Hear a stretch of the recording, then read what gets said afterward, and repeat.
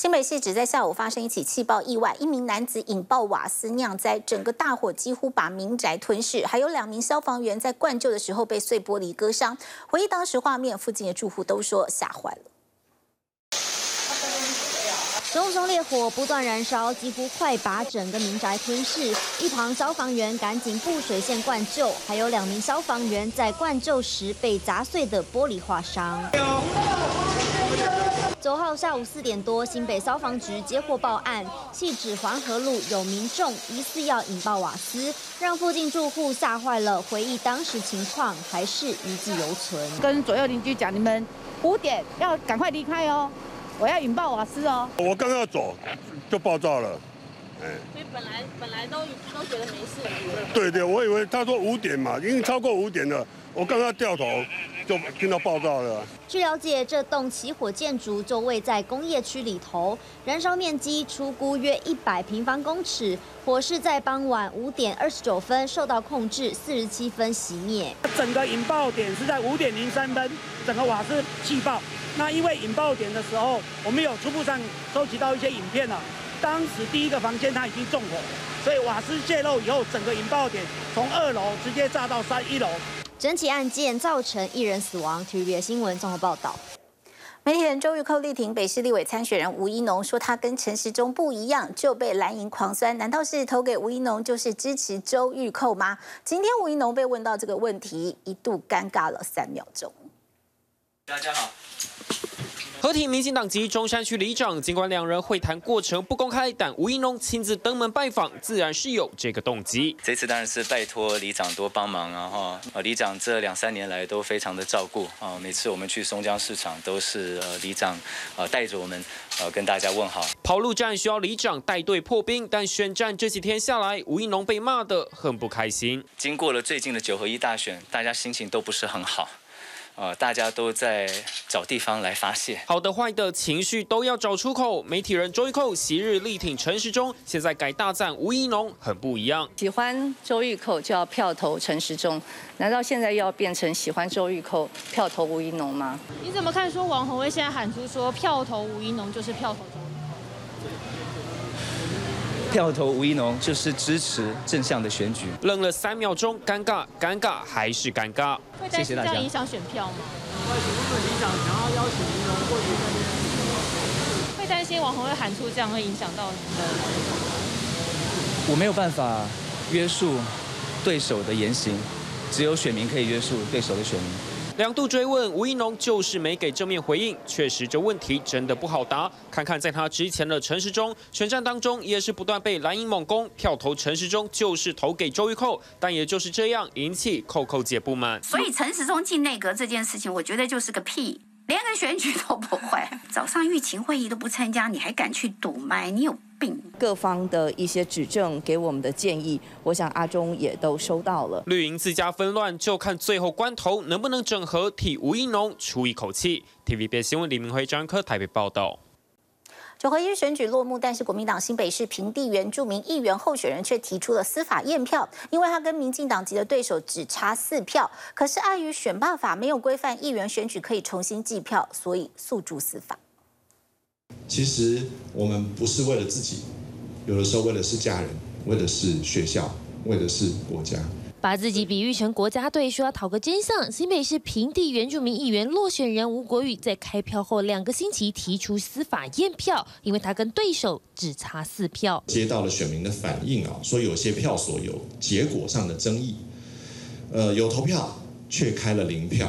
说选民发现有选票不翼而飞，打算申请司法验票。因为根据选罢法第六十九条规定，区域立法委员直辖市长、县市长得票数跟第二高的候选人差距只在千分之三以内，就可以重新计票。但偏偏议员不在规范内，加上有两间投票所传出有四张投给吴国玉的选票有疑虑，一旦两人票数打平，就会用抽签的方式决定是他还是议员苏景雄当选。也因此。让他决定司法验票一搏，四票之差来变成是这个落选头啊！但是我们看到陆续在这一两个礼拜里面，其实很多的投票所的回应都有所谓的开票的瑕疵或是争议。我觉得意义不大啦，那你当选无效，你要找证据啊。认为这样做意义不大，但跟吴国瑜的情形很像的还有他。我真的不相信，到现在打死我都不相信。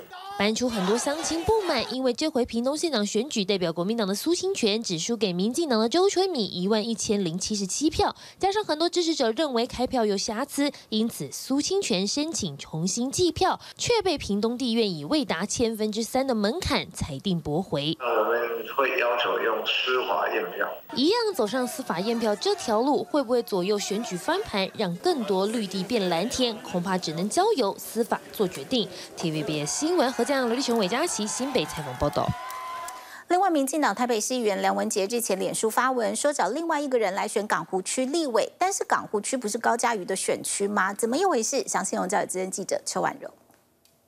可以看到呢，这位扎着马尾的女医生呢，她是激进党这一次在台北港湖区推出的议员候选人哦。虽然她高票落选了，不过她的最近新闻是蛮多的，因为呢，她跟馆长陈之汉呢来互杠黑帮问题哦。虽然这个馆长扬言提告呢，吴兴代人士说呢，他没有在怕的，是拒绝撤文，而就是这样的态度呢，让民进党的台北市议员梁文杰说呢，这吴兴代真的是蛮厉害的，思路清晰，文笔又好，明年干脆在港湖选立。为了，但这话一出来之后，难道是说民进党明年将不继续提名高嘉瑜吗？这港湖区的台北市议员游淑慧他自己就有他分析的观点。他说呢，难道吴兴代选的民进党立委高嘉瑜吗？因为论支持度、论得票数，其实高嘉瑜的支持度都是比吴兴代还要高的。他说，还是民进党只是用我找人跟你选了来逼高嘉瑜就范。因为我们想知道呢，高嘉瑜常常会逆风讲一些就是民进党。立场不太一样的话的，所以游淑慧就说呢，民进党显然是没有在检讨反省的，还以为可以一手操控选举吗？要席次也要听话的，朕给你的才是你的。而民众党在九合一选后，针对这次的选举结果做了哪些检讨呢？是不是也为柯文哲接下来要选二零二四持续布局？再交给婉柔。台北市长柯文哲十二月底将卸下市长的身份呢，届时他将专心来担任民众党的党主席。但是这个党主席未来又要如何壮大民众党呢？其实，在这一次九合一选举，我们可以看到呢，民众党这一次只拿下了一个市长，还有十四名的议员席次，看起来还是有很多需要检讨的地方。现在党内呢已经归纳出三个检讨方向了。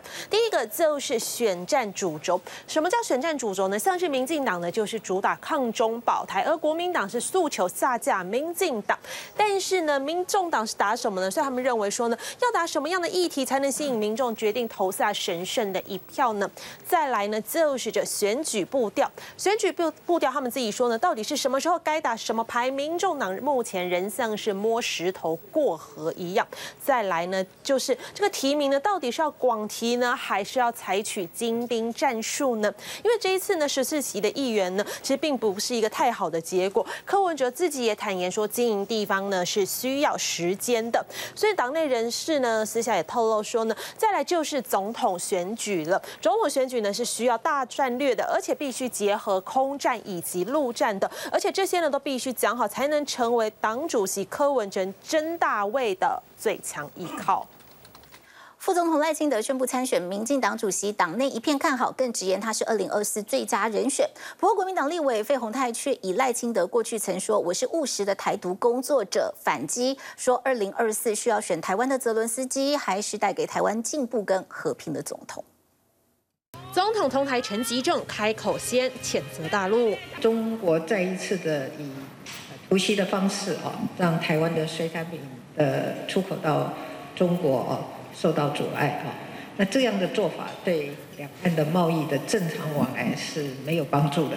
对岸禁我超过九成水产品，总统明确表态，那是否支持副手参选二零二四？总统二零二四支持赖清德参选吗？快步走过没回应。不过两岸关系紧张，对于赖清德可能角逐二零二四，现在也让国民党找到破口。尤其美国学者此时也提出警告，指美国有人想在台湾海峡挑起类似在乌克兰发生的冲突，这甚至更危险。我们是要选一个台湾的泽连斯基呢，还是要选一个可以带给台湾和平、繁荣、进步的总统？赖副总统其实也是希望说，跟美国跟其他国家建立友好的关系，那进一步也追求台湾的呃主体性。那我觉得这个是全体台湾人共同的一个使命跟共同的一个呃责任，没有人想要呃战争。但确实不少人对赖清德的两岸路线印象就是务实台独工作者。不过为进逐二零二四，赖清德也开始修正路线。台独或者是两个字，或是台湾独立四个字，其实是指台湾不属于中国的一部分了。这个是台湾社会的共识了。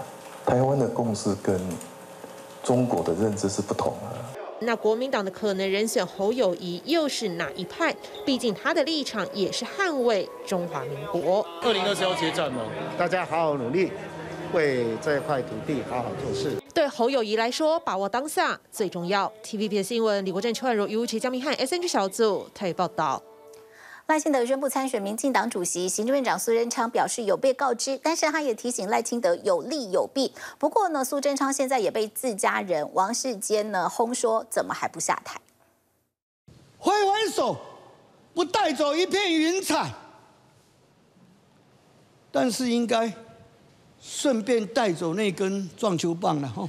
这说的丢西基基，苏奎助讲时少不了的招牌撞球杆。你现在应该做的也是很清楚，四个字：下台负责。你还吱吱喳喳什么呢？改革向前的最大障碍，就是你苏贞昌赖着不走。王世坚狂轰苏贞昌，国安局长也不放过。该走的人，你玷污了学术界。曾几何时，跑出这些假国师？天哪！要全民通知所进退，绿营大败追战犯，稳定选民的心。副总统赖清德也出招，宣布要选民进党主席。副总统昨天有打电话给我，要听我的意见，我也很善意的提醒他有利有弊。要深思。苏奎才说有利有弊，党内就有不同派系声音质疑赖清德当副总统又身兼党主席，未来还可能顺势选二零二四，坐有这么大权力，难保总统没有跛脚问题。他们彼此之间其实长时间以来培养出一定的默契和信任，所以我觉得不会有什么跛脚的问题。党的部分专责或者全力去处理选举的议题，让总统能够更专心的啊去整个国政的推动。毕竟连桃园市长郑文灿都表达支持，传出民进党打算一月立院会期结束后要内阁改组，接下来找屏东县长潘孟安当民进党秘书长。潘县长非常优秀，他跟那个赖清德副总统的理念也相当接近，但是现在讨论人士真的是言之过早。二零二四绿营力求谷底翻身，但自家的人。人事考验才要开始。TVB 新闻刘玉俊、傅定华、刘立成、韦佳琪台北报道。副总统在未来的一年多呢，这赖清德还得清除总统之路上的哪些石头呢？再交给婉柔。副总统赖清德八号在脸书上面宣布，他将参选民进党的党主席，而党内也有不少人直呼呢，赖清德就是代表民进党参选二零二四的最佳人选。但如果这个态势下去的话呢，这精神科医生沈正南他就认为说呢，现在蔡苏呢看起来这个体质是会继续下去的，但是这个蔡苏满意度还是会继续下滑的，这样对赖清德是很不利的，因为呢，他这个未来的满意度呢将会冲击赖清德的总统路，届。时如果赖清德民调拉不上来，到底要怪谁呢？所以他就说呢，赖清德其实非常希望苏贞昌可以下台的，但是呢，碍于这个总统的面子上，他是不敢开口的。所以他认为说呢，让苏奎下台的压力增加呢，就是即将到来的立委补选了，也就是呢这个一月八号的立委补选呢，让民进党再输一次，这样子苏贞昌就一定会被逼下台。请支持 TVBS 国际 Plus 全新频道，让您扩大视野，掌握趋势，接轨全世界。恳请订阅，开启小铃铛。